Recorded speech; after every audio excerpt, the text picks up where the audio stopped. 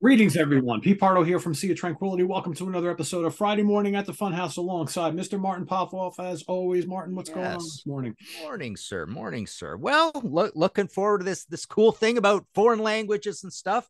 Sitting here in Canada, of course, where we have uh, we have uh, we have a, our own our own semi foreign language yep. uh, who's also sending a lot of smoke down to us lately, right? And I think that's yes. going to continue all summer. So yeah, the smoke screens are coming, the smoke signals are coming down. Although I haven't seen it or or smelt it uh, since it originally happened. I, I heard that we were supposed to get like another wave of that, but it never came this week. So I don't know how the fires are doing up yeah. there, but uh, it's been pretty clear here. Although we're as always, uh, the forecast is full of rain and thunderstorms for the next like week. Whether any of it actually happens where I live in the Hudson Valley remains to be seen because yesterday was supposed to be 80 something percent chance of rain. We didn't have a mm-hmm. drop and it was actually sunny all day. So now it's yeah. dark and cloudy out right now. They're calling for rain on and off all day. Whether it happens, I don't know. That's the way it's been going here. It's like they call for rain all the time and it never actually rains. So whatever. Right. Yeah. Anyway, well, yeah, it's going to be super hot and dry mostly up here, so it's going to be it's going to be a rough summer. Apparently, at this time last year, we're already at ten times the amount of uh, area burned, uh, equal to the entire size of Nova Scotia and Prince Edward Island uh, combined. So yeah, that's crazy. That's crazy. Is yeah. the humidity uh here with you? Because it's, it's yeah, it's it's pretty humid. Yeah for yeah, sure. It's been dry, and now the humidity. They're saying the next couple weeks is going to be really humid. So a typical hot and sticky beginnings of the summer here in New York. So that's that always has been the case historically. Last year was not as humid, more dry, but we'll see what happens. Anyway, now that the weather report is uh, finished here, uh, we've got an interesting show. So this is one that uh, Martin and I have been percolating for a couple of weeks. So we got to talking about non-English language bands, music, or bands who are not of the English language country, speaking countries who have chosen to speak in their native language or in English, but that's not their original language of choice. Uh, and so Martin and I started talking about those bands that, you know, like what's it like to listen to a non-English speaking band try to sing in English or to sing in their own native uh, language, and how does that affect our enjoyment or not of the music of their recorded works? And and how many of these bands have like actually really like made it big in the main english speaking countries? So that's kind of the the basis for the show today. Uh, i'm going to have martin kind of expand on that a little bit. And uh, before we start getting into we picked out 10 bands each to kind of highlight all of this and from various countries. So martin uh, why don't you uh, kind of take it from there yeah, it's pretty interesting. I'm, you know, the, the over the umbrella concept is the pros and cons of this, you know, when we're into it, when we're not, why we're into it, why we're not, you know, how do they make different music as well? Um, how utilitarian is it for an English speaking person to to to listen to a band in another language? Um, you know, I tend to be, you know, I, I come from a a uh, a Canadian tradition, or definitely a Western Canadian tradition of being kind of hostile towards having to learn a second language because all through high school we had to somewhat learn French, right? And you know, as a kid, you're thinking, I'm never going to use this or whatever. I wish kind of I had it now because Quebec City and Montreal are two of the coolest cities in all of Canada, right? Um, you know, so so you do get more uh, employment prospects in Ottawa as well if if you learn French, sort of thing. So French is a well, that's the one I'm going to start with here. So I'll just dive in because I think the concepts will happen as we go here. So my first band I don't have any props anymore. I had a lot of these albums before. Uh, Sortilege, Trust, Warning. I had all this stuff, but Sortilege is the one I wanted to talk about the most because I think they made the most classic, classic album and the most utilitarian for an English speaking person when they did the English version of uh, Metamorphose. It's funny because Metamorphose, 1984 course, I'm probably pronouncing this completely wrong, but the funny thing is, Warning, this band called Warning from France, also had an album called Metamorphose. And my second example, Baron Rojo from Spain, had an album called Metamorphosis in, in 1983. So pretty strange. But anyways, uh, so, so Sortilege had an EP. They had later stuff as well. That the um the next album was not so good. Uh, Larme des Heroes. Um, I, it, it's funny, you know, come from Canada. I'm supposed to be able to say this stuff, but I, as soon as I hear it, I, I, I like, I like get stage fright and I just blow it. Right. Um, we're gonna butcher but, some names and titles today. That's just the way it yeah, is. yeah, uh, absolutely. Uh, but no, this this one album is an absolute absolute classic. The vocals are amazing. The riffs, the grooves. Uh, it's it's like a late period new wave of British heavy metal album, but it's leaning into that new wave of Swedish heavy metal sound a little bit. So there's something magical that sort sortilege uh, captures, and and is it because they are from you know a slightly removed non you know standard metal market britain canada the states australia Germany. Germany is going to, uh, you know, uh, factor into this a little as well. Uh, and then there's the the case of Trust. They did the same sort of thing. You know, Trust uh, gave us Nicko McBrain, which is kind of odd, but um, they also had a French language version of Repression, and that came out 1980. Repression. I didn't like Trust very much. I didn't think they were that good. Um, you know, and, and I've always thought France had a little bit of a a little bit of an ACDC vibe to what they did, a little bit of a biker metal vibe to what they did, and a little bit of that ACDC vibe goes over mm-hmm. to Switzerland as well with Crocus, right? Uh, sort of thing. Uh, so Trust is in there as well, but they had a bunch of French language stuff. And then the other album I want to say that I really, really, really wish there was an English language version is the second of the two self titled albums from this band called Warning, 1982. That thing, orange cover, absolutely incredible, incredible. Um, it's almost like stadium rock, but still pretty heavy metal. Great production on it, um, great performances. That's one I really, really wish would have uh, come out as well. Of course, uh, in modern times, we've got uh, Gojira, Scarve. Eh, um, there was Nightmare early on as well. There was Vulcain early on, but uh, yeah, if I was to recommend anything, uh, for for an English speaker who's who's like, nope, I don't want any foreign languages. The the English language sortilege. But if I was to rec- recommend two albums from that whole great magnificent past of this, it would be that album plus the second Warning album. So that's my first one. Cool. I mean, you bring up a, a great point right there about people who the blockers go up as soon as they find out that the vocals are in a non-English language, they just refuse to listen to it. I come me, that's me.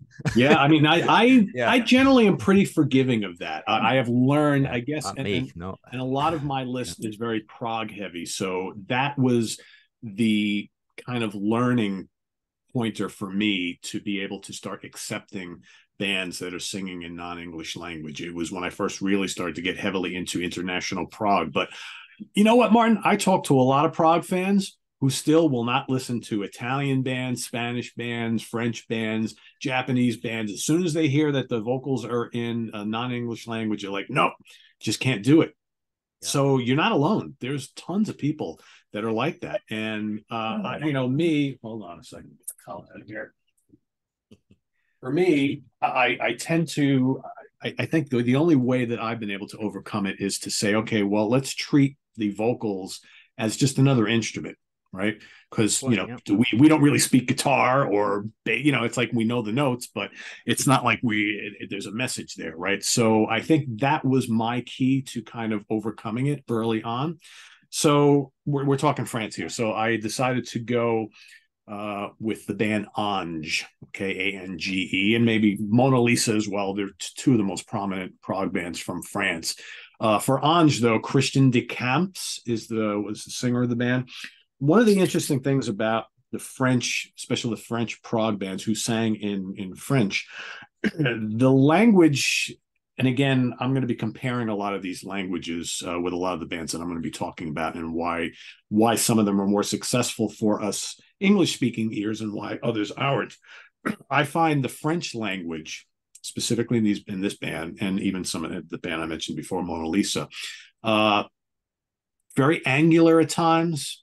They're very emotive, and I think the vocal style oftentimes borders on theatrical.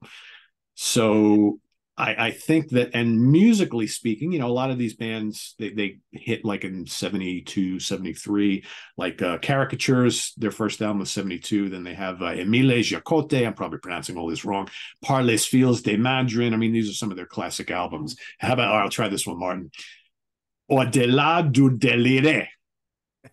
probably totally wrong. Anyway, uh, most of these albums are very much influenced by like Genesis, right? King Crimson, Moody Blues, that sort of thing.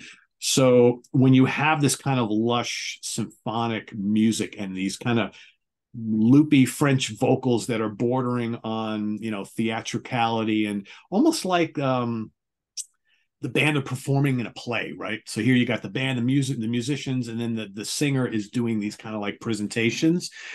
I can totally see why folks could be uncomfortable with that even though I've grown to appreciate these type of you know bands who, are singing in their native language, I will say out of some of the ones that I'm going to talk about today, I'm still not 100% there with the French bands because of that. So even myself, even though I say I'm pretty accepting, there there's a little blockers up because I think for, like Ange and they're not the only two French bands, uh, but Ange and Mona Lisa are the ones that I'm most familiar with. And I do like the music. I like, I have a bunch of their albums from both. I don't listen to them all that often because I think there is something there that's kind of not really hitting home. So again, I'm with you. It, it's hard. Mm-hmm. It can be really hard, even if you love the music. But that yeah. singing, you're kind of like, and he did, and these guys don't have bad voices at all. But there's to me, there's something about the French language that I find a little almost jarring. I guess yeah. a little, you know.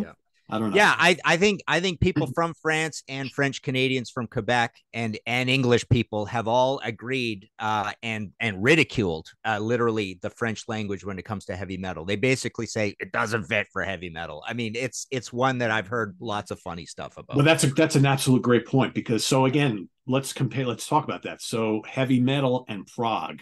So I think it works a little better in prog because prog of the nature of the music. But like I'm, I'm sitting here trying to picture Christian Décamps singing for a metal band, and I'm like, that won't work at all for me anyway. Right? It just yeah. doesn't match. It's a it's a little too playful. It's a little too theatrical for that. So it just doesn't doesn't work for me. But yeah. Okay, so so my second example is is uh, Baron Rojo from Spain. They're pretty much considered the big famous one. Um, you know, I I had those records uh, at the time. Larga Vida, uh, Al Rock and Roll uh, and uh, Metamorphosis are the are the two. The second one has a much better production on it. Um, I wanted to pick this band because uh, it it it does that thing that I'm happy for these non-standard metal market bands to do. And I remember hearing those as a kid. I think it's an 81 and an 83 album, these two albums. Um, I remember them them doing chord changes and ideas and cool transitions and and breaking rules with choruses and pre-choruses and stuff that you don't normally get. So I think this is this is the lesson for people to be less xenophobic and travel and see and see these different things and and try these different bands. I think Baron Rojo is a good example of that. But it's it's a weird band. It's it's almost like and it also at the same time does that thing that you don't like from these bands which is being kind of behind the times and seem to be out of it or not or not you know not knowing the rules sometimes is good and not knowing the rules sometimes is bad right? So they do a little bit of both. Um, but essentially they do like an infectious sort of um, biker metal sound. I mean I, remember there was also obus uh, angelus de, uh, del inferno Mägo de Oz tierra santa. Um yeah, so that's that's the Spain situation. You don't get a lot of Spanish bands, of course, as time goes on. You know, uh, well, actually, I watched a video last night, which was kind of interesting about why English has sort of taken over the world, and and it has a lot to do with British colonialism. Uh, you know, the Dutch were just as as colonialists, but the Dutch were after natural resources. The British settled in these places, right? So, uh, you know, Canada, the States, India, you know, all over the place, South Africa, right? Um, so that happened. Uh, American culture is a huge part of it. The language of business is kind of a part of it as well. The language of the internet is part of it as well. Um, so there's all these reasons uh, that English is is kind of growing and growing and growing. Is it a good thing? I mean, it makes us all more homogeneous, right? Um, so it's probably not not the best thing in the world, but uh, uh, I guess the reason I bring this up is that as metal culture went on and on and on, as as you know, will will become a concept as we talk to talk about some of these bands. Um, we realize eventually you get lots of good bands from these places, and you fully expect them all to speak uh, sing in English, and they do a good job of it. So all of a sudden, you're just getting great bands from all these different countries, even though English isn't their first language. In all this, and now it doesn't matter where where anybody's from, right? Whereas yeah. that was always an important thing back in the day. Now it's like, ah, they could be from anywhere and who cares? Because we all sound similar, right? Yeah. Yep, exactly. Yep. So, yeah, it's funny because not a lot of Spanish bands of note, right? And uh, yeah. my father's side of the family is from Spain. So it's, you know, Spanish was always spoken in my house, not really by me, right? It's like just like you with having to take French. I had to take Spanish in school. Yeah. I took it all throughout, uh, you know, junior high, high school, even a little bit in college. You know, whatever. Because I, I, grew up, you know, my grandparents spoke Spanish all the time, and my father spoke it fluently, and you know, so. Uh, so my band here for Spain is a band called Crack. Only album they ever released. The name of the album is Si Todo Hiciera Crack. All right. Spanish vocals here tend to be quite lush and calming. So, uh, and I'm going to talk about that in a little bit. Very different from Italy. So, oftentimes people kind of look at, uh, when it comes to the prog scene, the Spanish and the Italian bands kind of have this like romantic type of delivery to their music. The music tends to be a much more melodic. And, you know, the Spaniards too, uh, very basic with as far as like utilizing traditional instrumentation and arrangements and things like that. That this the tradition is very very big in Spain. One of the things I've learned over the years. Um, and I find that the music of especially this band not quite as theatrical as like the French. So there's a little bit different. So the vocals are kind of a little more calming, a little more lush, a little more dialed back. But on that same token, just like I mentioned, the French bands were very much influenced by, like, say, Genesis and whatnot. Here you have the they have two vocalists in the band Alberto Fontaneda and Mento Hevia. I hope I said those correctly. One guy sounds like Peter Gabriel, the other guy sounds like Jon Anderson. So if anybody watching ever thought what it would be like to have Peter Gabriel and Jon Anderson kind of appearing in the same band on the same album, playing off each other, that's kind of what you get here. So it's really, really interesting. And I would say this album is highly listenable. There's nothing harsh about the vocals, they're very calming, pleasing to the ears. I just, and again, maybe I'm biased because I'm half Spanish, but I find the Spanish language much, much easier to, to digest in any style of music. It's just, it, there's something about it. Um, and it works really, really well. So, uh, yeah, not a lot of Spanish prog albums, but I would say Crack, the debut one and only album, is definitely one to check out. Mm-hmm. Cool. All right. My next uh, country to visit is uh, Germany. Um, you know, Accept um, you know, Accept being the baby scorpions and uh Gravedigger being the baby Accept. That's the way we always looked at it, right? Um, and the other thing we always looked at is it, it always seemed that Germany was was the the best or the next in line after the English speaking uh, countries because they always loved metal. Um, yeah. They got into it, you know, not particularly early. I mean, we we essentially had Scorpions for a long time, and then Accept, and then you know, lots and lots as time goes on. We eventually get a big power metal scene out of that uh, out of out of Germany as well. Um, but it always seemed that um, they had uh, a little bit of that uh, of that same, you know, it, there was always high regards sort of for the Scandinavian sound as well, where you got that European, we used to call it that Teutonic sound, you know, Geronimo riffs, that whole thing that I keep bringing up, right?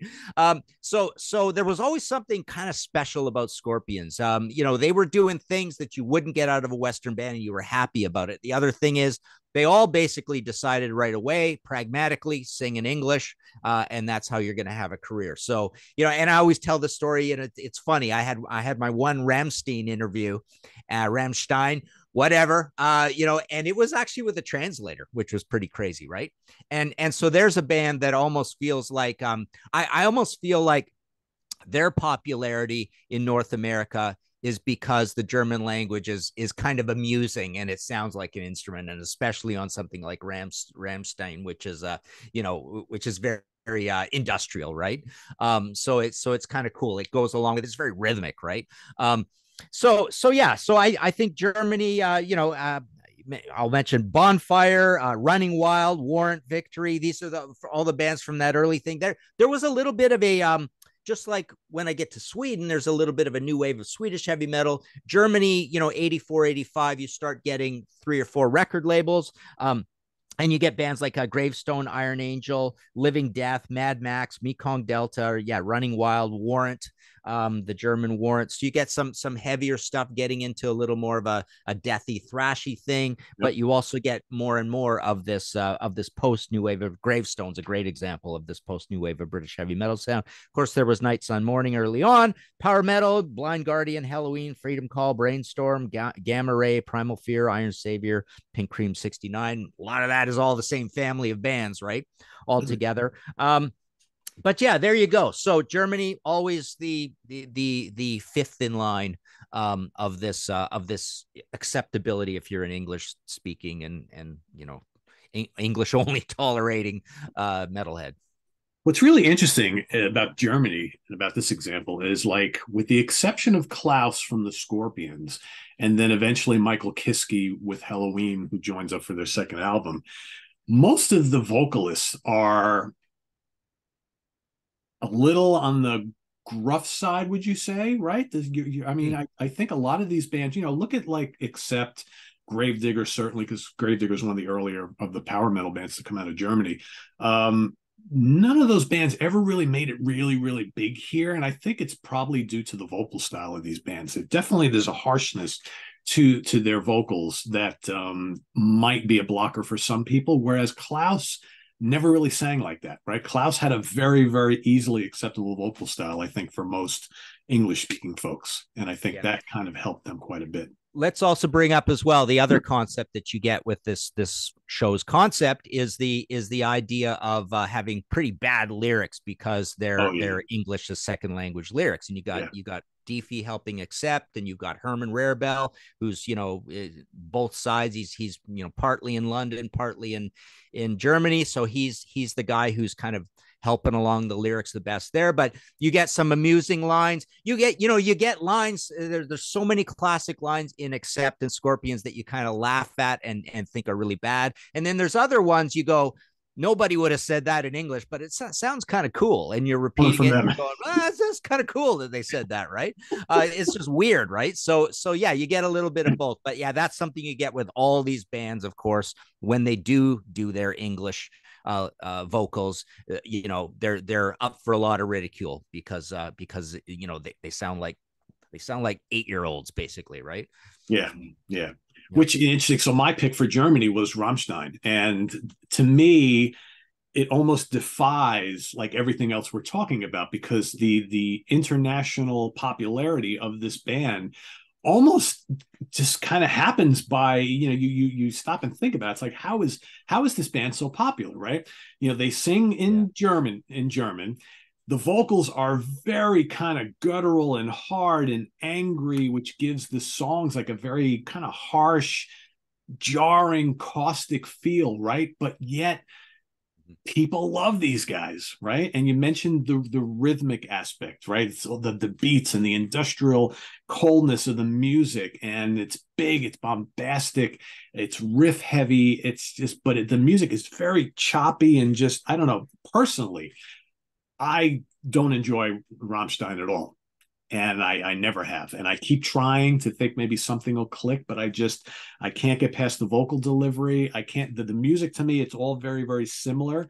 But most people you talk to, it's like they they don't even care that the music that the vocals are in German. Doesn't matter. They, you know, when you go to see, not that I've been to a Rammstein concert, but when you go and you watch footage of, I mean, people are just going berserk in the stands, just getting along to this band. It's almost like they don't care what the lyrics are about. They don't care if they're singing in German, English, Japanese. It doesn't matter to them. There's something about the music that just transfixes everybody, and that's all that really matters, right? So somehow that you know all the explosions, all the great stage show, all that, it's become like this whole event for them, and has it's nothing to do with whether they're singing in German or English. So it's interesting. Yeah. They to defy any everything where else we're talking about here. Yeah.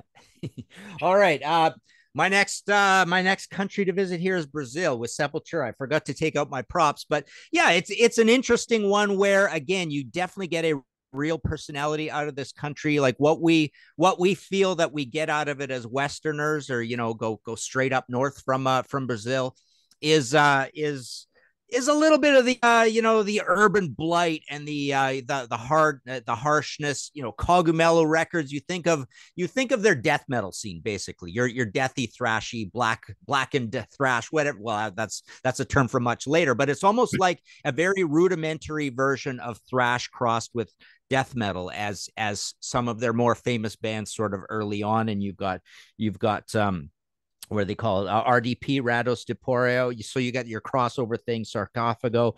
Krisiun, of course, is uh, you know your your next big band after, after Sepultura. Um, but you know it's cool. Sepultura is is singing in English, so that's that's good for us, right? Um, but also, um, I think what you get out of them, which is kind of interesting as a foreign territory band, is you get um, you get sort of a uh, an interesting um. Uh, adherence to repetition from that early stuff. It seems really brutal and cool and and there's something about it sounds exotic. And you got that anger in Max's voice and and the Portuguese accent on the English lyrics seems to work really good, right? So you're you're you're kind of going along with it. You're you're fine with it, right? You're just you're reminded that it's from another country, pretty exotic country in terms of being non-Western. Um, but you're loving it at the same time. And then, you know, they're kind of like these world conquerors who are coming up and moving up here and getting on Roadrunner and, and doing well and making these really cool records, Arise, Chaos AD, Roots, uh, and and um and you're loving it, right? So so that's kind of cool. Uh, and then later on, you've got um. Hmm. Well, actually, early on was still uh, Dorsal Atlantica, um, but yeah, you get Angra later on, right? Uh, so you get a little bit of power metal, but probably not a lot. So yeah, I, would say the big personality that you get out of Brazil is is dominated by Sepultura crossed with Krisiun and Cogumelo Records. Uh, just the whole idea of this uh, of this of this brutal cavemanish sort of thrash uh, from those early albums, and then them them staying staying sort of violent and urban um, it, it, feels urban, even though we think of Brazil as the Amazon and all that, right? But it actually feels really urban, uh, is, is what you get out of those guys. So. And all those bands have managed to utilize little bits of like traditional Brazilian ethnic instrumentation and yeah. Latin flavors in their music too. So every now and then you'll get this little kind of Brazilian jazzy thing or whatever, and it's like it's it's, it's kind of cool, right? To us, we're like, oh wow, they, they, they you have this brutal, fast paced song, and they threw that little thing in there. It's like how cool is that? And all of them do that. And I think that's very very typical of bands from that from uh, Brazil that do that. And it's like it's almost like it's expected like the music of Angra. Angra did that all the time. They would like throw these little bits in there. It's like oh that's kind of clever right? So that there's that yeah. too as well for the appeal factor. But but it feels like it's often about poverty and class and politics and social change and upheaval and all that stuff right? So yeah. yeah.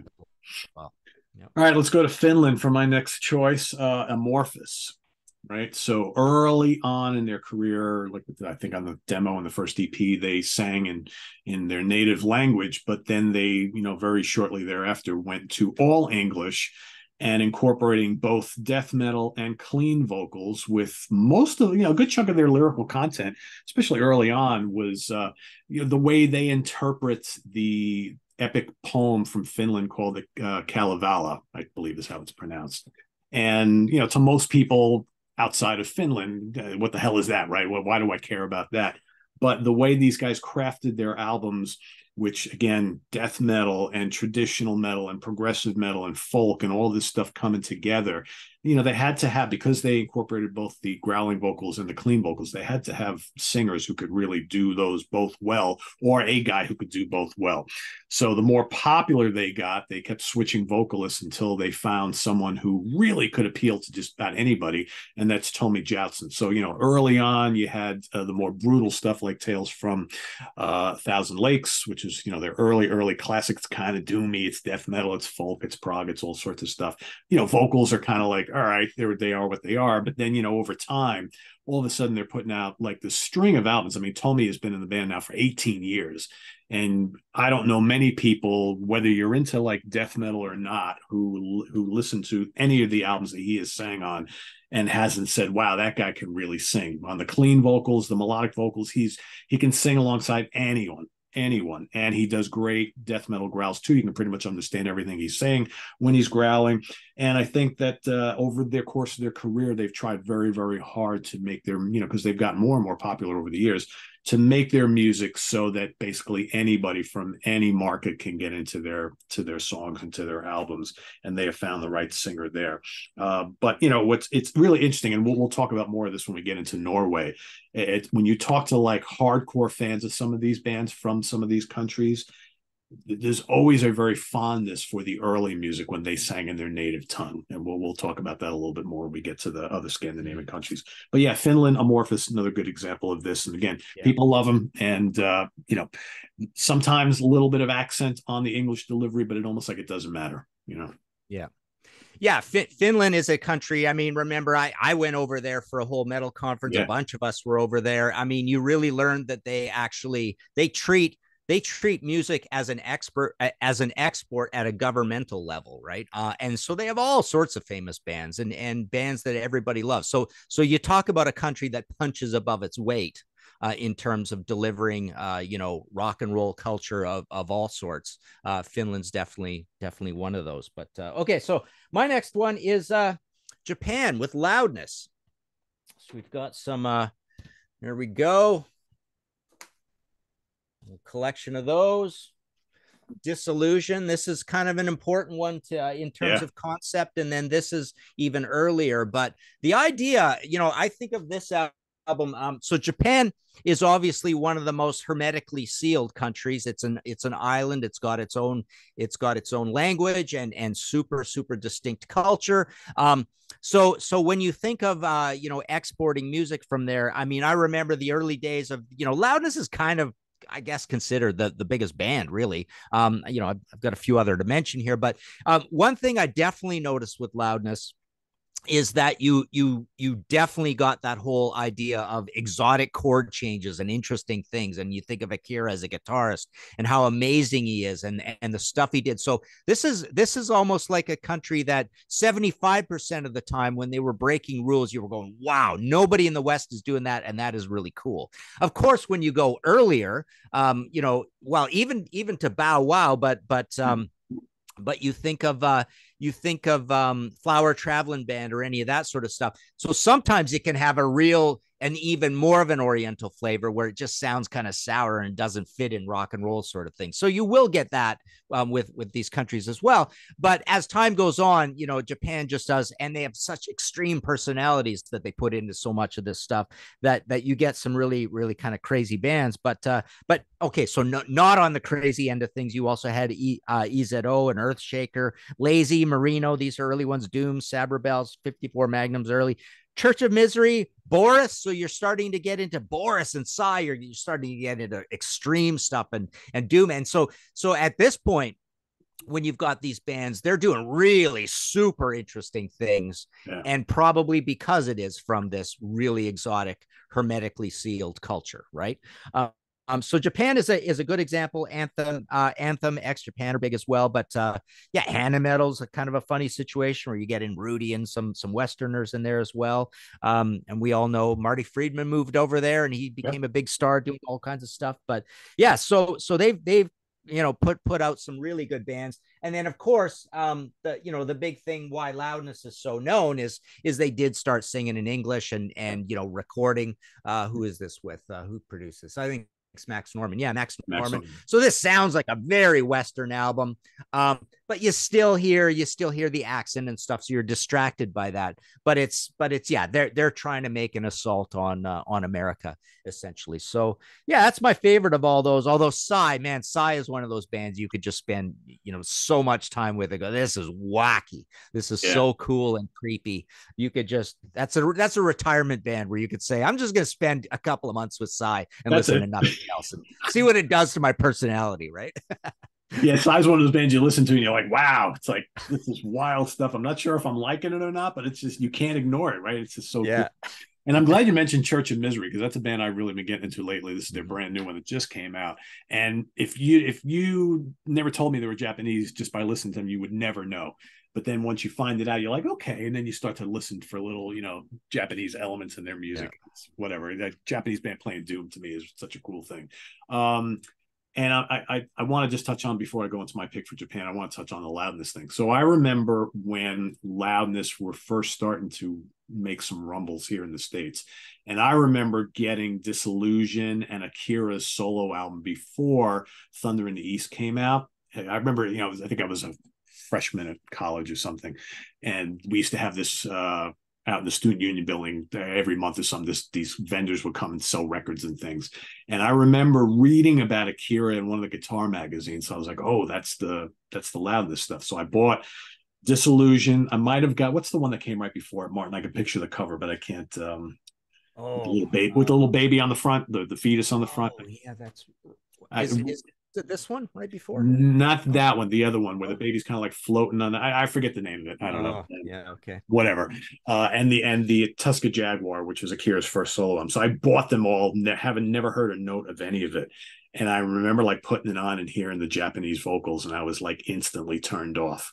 I love the guitar playing, but I was kind of like, oof, yeah, this is kind of not for me. And then when Thunder in the East came out, uh, you know, I heard the, oh, they're singing in English now. So I bought that and I was like, all of a sudden now it was okay, right? I could really, because I really enjoyed that album. But yeah, the, the, it was a little bit of a distraction here because really heavily accented English. You could tell that they probably learned and probably went through excruciating times trying to make sure to pronounce everything as it was supposed to be pronounced and whatnot. So yeah, a little that was a little bit of a blocker.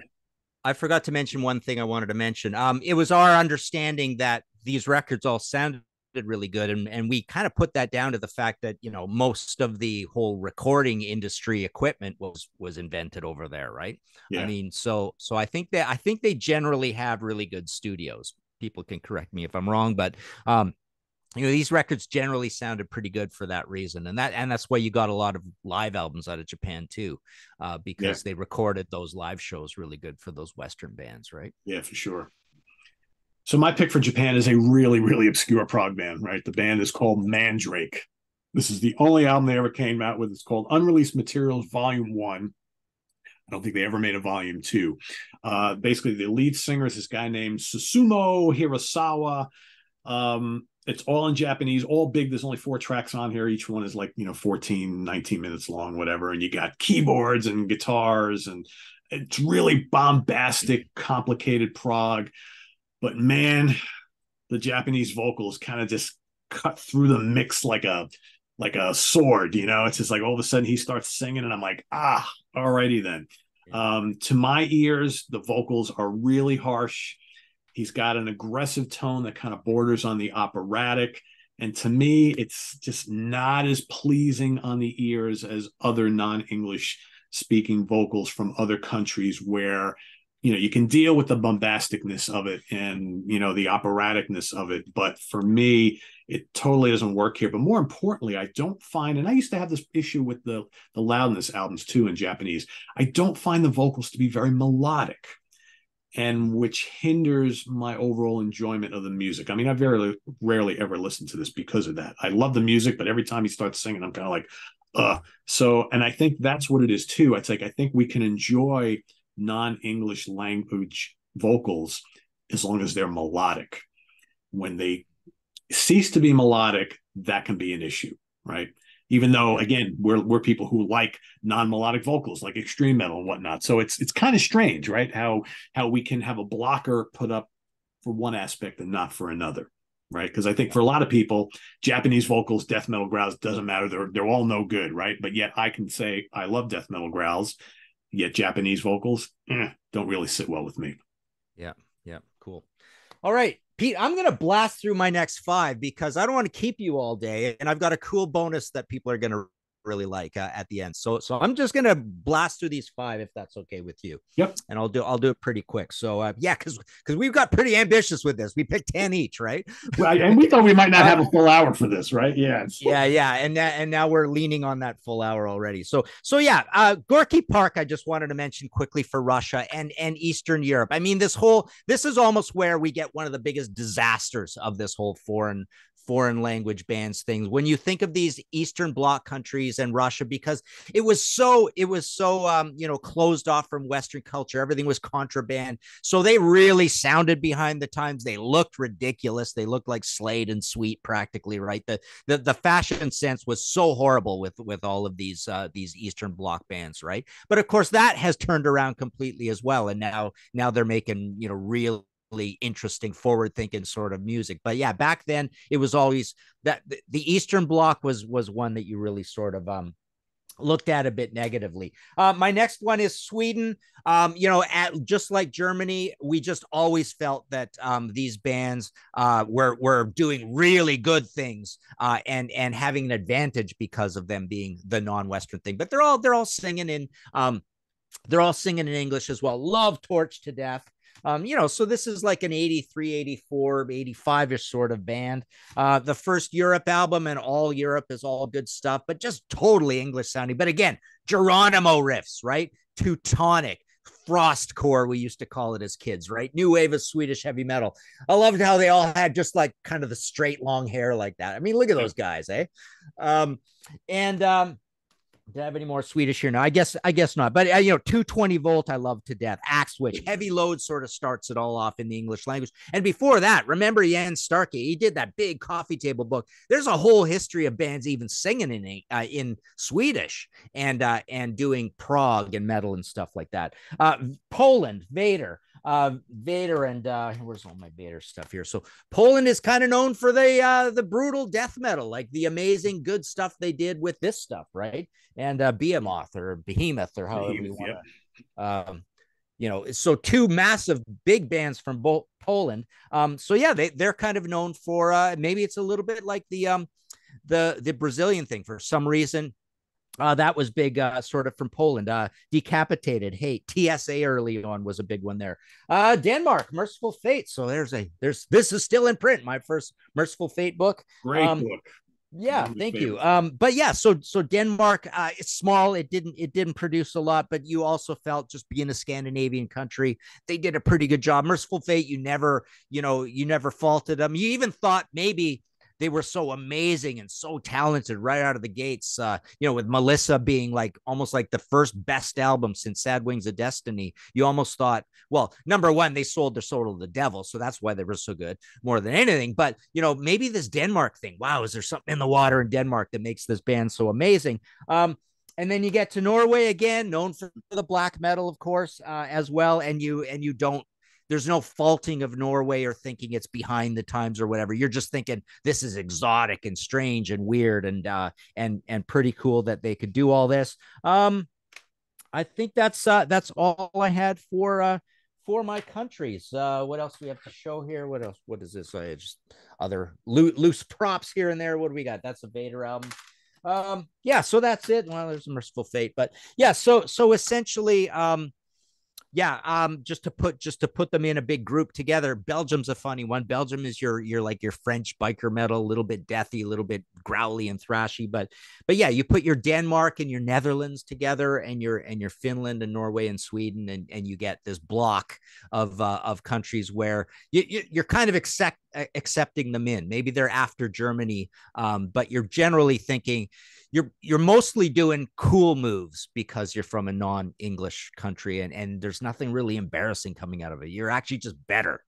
So yeah, I mean the whole Norway thing is really interesting because you got the whole black metal story, right? Um, you know, enslaved and Dimmu Borgir and Emperor and all these bands, Immortal and whatnot. I mean, you know, in the early like Dimmu albums had the Norwegian vocals. You know, it's all these Viking stories, all about the cold forests and woodlands and you know same thing with enslaved. The early albums are all sung in their native tongue. It's all it's all this viking tales and things like that. But again this band just kept growing in popularity. And now they, it's like they do the all english vocals. You got clean and melodic vocals. And but again i go back to uh, we talked about it i think with the the finnish thing. It's like you know how many like longtime black metal fans really cherish those early albums from a lot of these bands before they started singing in English. It's like that's it's untouched, right? That's that's mm-hmm. the way it's supposed to sound, right? Or it yeah. should be sung in the Scandinavian vocals. You know, on the prog side, Sweden got Anglagard. You know, they've only done three studio albums. This is the only album, the first album uh, that has Swedish vocals, and they're kind of you know the, the guitar player. His name is Tord Lindman. He's not really a very good singer, so the vocals aren't all that great, but yet the music is so herky jerky, and you know it's got bits of Tull and King Crimson and Van der Graaf Generator and all this kind of wonderful stuff that you don't mind when he starts singing because it's kind of like loopy and and kind of complicated as everything else is. Mm-hmm. So you don't really mind. But then they never did vocals again after that. Uh, I do want to talk about uh, the French Canadians, right? So you got uh, Harmonium and Maneige who sing in in in, Fran- in French, but there's a big difference when the Canadians do it as opposed to the French, right? So when when the Canadians are singing in French, it's lush it's pastoral it's kind of folky and it just kind of floats along and the music is kind of similar so it you know as opposed to the french prog bands who were going for a more theatrical kind of delivery with everything music and vocals the french are a little more laid back and, and just kind of like you know taking things taking it slow uh, and last but not least i want to talk about italy i was going to talk about them first but they're they're better safe for last so lots of Italian prog bands, right? There's Italian metal bands as well. I'm going to stick on prog here. So I picked two bands to kind of highlight here. One is PFM or Premiata Forneria Marconi, who in early on, all their albums were sung in Italian. All right, so here are two of their, you know, Per un Amico and Storia di un Minuto, arguably their two best. Uh, almost folky delivery here, the Italian accent is there, but it's a really nice, pleasing uh, Italian. It's very romantic. All members of the band sing, but you know Franco Mussida is the main vocalist.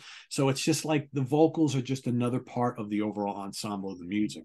Uh, they went and did a couple of albums with English vocals. They basically took a lot of the songs from the first couple albums and they uh, sang them in English. With they had uh, what, uh, what's his face, Pete Sinfield, I believe, helped them out to translate. And so now all of a sudden you got these guys who don't speak any English singing some of their songs that they've already recorded in Italian and English. Uh, and here you got uh, The World Became the World and Photos of Ghosts. Honestly, I would I, I almost never listen to these because I would rather hear them singing in Italian. It's just it sounds more natural. This sounds forced and unnatural. On the same token, another very very notable band from Italy is Banco. Banco del Mutuo Soccorso, right? So here, the vocals, the music, much more bombastic and operatic. Uh, and while the romantic aspect of the delivery, the music and the vocals is still there, you know right off the bat, right off the bat, you're listening to an Italian band because the vocals are so high in the mix. They're such an integral part of the of the music alongside the keyboards and the guitars and all that kind of stuff.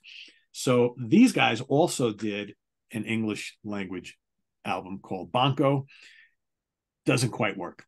Again, when you're used to hearing it, even if you don't understand what the hell they're singing about, you know there's something about the feel of the Italian vocals, and now they're trying to give you those same songs, but singing in a language they're not comfortable with, and it sounds like it. And uh, Francesco Di Giacomo was the classic vocalist for uh, Banco, one of the greats of all time. And you got to listen to these bands. The Italian bands, you have to listen to them sing in, in Italian. It to me, it does not work at all when they try to hmm. sing Interesting. Yeah. But, yeah. I, I remember having those. I had three Vanadium albums at what Vanadium albums at one point. The Italian Deep Purple they were called, right? And you and you were very distracted by his accent, uh, although they were in English, right? But yeah. and it's funny, Austria. The big joke used to be for years that no no rock and roll ever came from austria now there's some famous bands there south africa we got no bands uh really coming out uh, greece is a, a, little bit you know switzerland we've got you know celtic frost and Krokus are the big ones but uh so my bonus is uh driving home the point you know I don't want to make fun of these bands, and and you know no, we're yeah, definitely not making fun. You know, we haven't gone and we're not reading you a bunch of r- embarrassing accept lyrics or anything like that, right? But so this is funny. So um, so basically um you know for years and years i have i've had shelved in my computer. I've, I've been wanting to put out a book of metal lists right? And it's it's got, got these massive files that uh, you know hundreds and hundreds maybe 300 lists right? And josh wood was helping me from calgary and stuff. But the problem is i never get around to it right? And then every list goes out of date over time right? So so it's like oh geez now we gotta now we gotta update. But so some some of the funny ones i have here that drives home the point of of, of the whole english as second language thing so we've got 20th funniest Indonesian metal band names.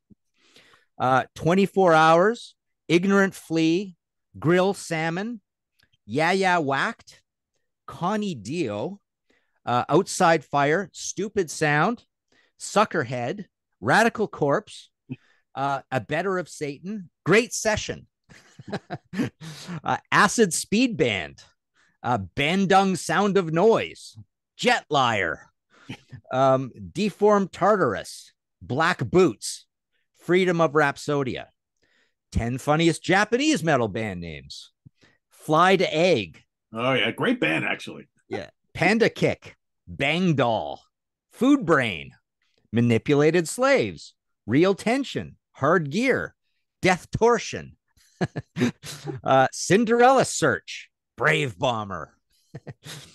10 funniest Korean metal band names Crying Nut, PP Longstocking, Heavy Angels, Soul Mothers, Jaywalker, The Sleeping Eight, uh, Yellow Kitchen, Weeper, Monkey Head, No Brain, 20 funniest Malaysian metal band names, Nice Stupid Playground, uh, Coffin Cancer, Damage Digital, Mortuary Ancestor, Predicate Not Define, Rogue Covet, Woe Begone Zephyr, Loving Born, Tri-Reich, Vociferation Eternity, Suffocation, Marlin Spike, Slum Scum, Blind Tribe, Cross Overdrive, Steel Fingers, Inside Wild Child, Dreaded, Handy Black, Infectious Maggots. How many more we got here? Ah, four more here. Funniest Philippine metal band names.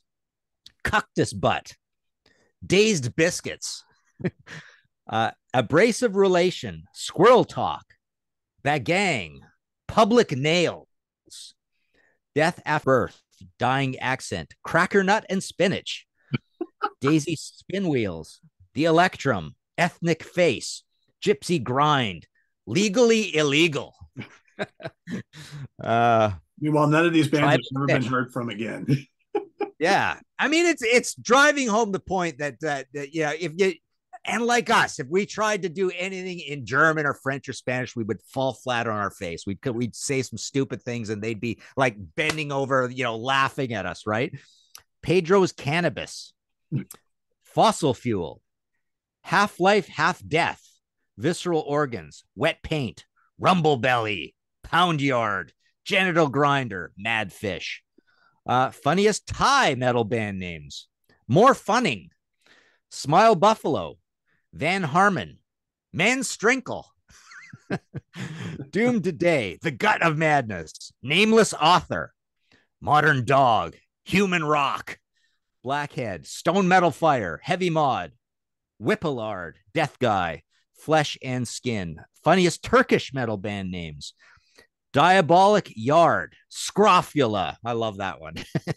Helican, Pogo's Not Fight, Knight Errant, Witch Trap, Ominous Grief, Something's Wrong, Vintage Solemnity, Neoplast, Angel Skull, Anti Silence, Ethereal Travel, Aphrodisiac. Took me a lot of work finding these in almost the pre-internet age. It was I, I remember working on this. It, it, was it was a lot of uh, uh yeah, it was a hassle. Um what do we got here? 25 funniest South American and Mexican metal band names. Hazy Hamlet, Jurylands, Leprechaun, Perturbator, Six Beer. I love that one. Six Beer.